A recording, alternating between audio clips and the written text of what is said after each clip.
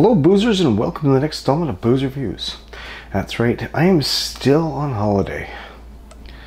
It is my last night here, and I'm kind of sad about that because I gotta go home now. But that being said, what way to end a perfect holiday with a beer from Category 12?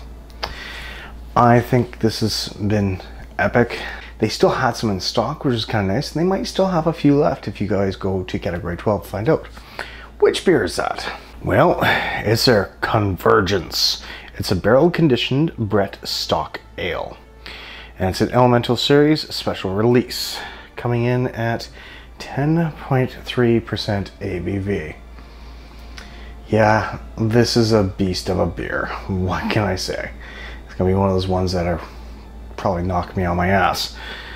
So as to enjoy about eight degrees.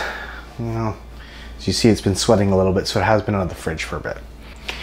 And I want to again thank the good folks of Category 12 for being so awesome. So as we have here, it is a murky, murky brown color. The smell, oh, it smells like a sour. You do have a little bit of a, a little bit of the sour note in there. Do you do have a small barrel note as well. It smells really damn good. Right, cheers.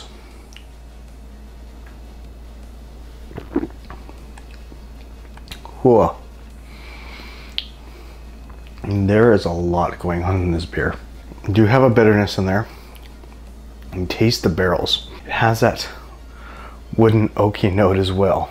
You know, hopefully it's not just the glass, but appears to have some floaties in there too. Huh. Wonder if some of the oak chips are in there as well. Interesting. This is a really solid beer. Damn good. And at 10.3%, you really don't taste it. Hmm. Have you guys had this before? What did you think of it? Did you like it? Did you not like it? Do you think it was good, bad, indifferent? What's your thoughts on it? For me,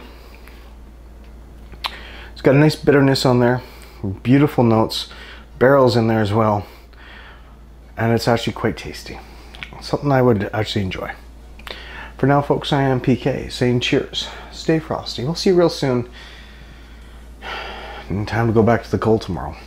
No more green grass for me. Time to go back to snow, cold, more snow. Thanks again for joining. Have a good night.